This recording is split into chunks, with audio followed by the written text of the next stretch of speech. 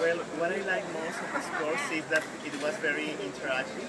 that we could use a lot of, of uh, different sources of information